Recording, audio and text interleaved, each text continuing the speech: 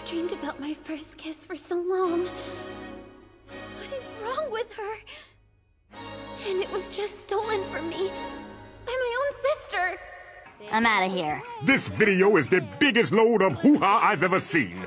Why do you insist we watch this stupid thing? Am I the only one who understands the complexities of this ambitious cinematic masterpiece? This movie isn't stupid! You're stupid!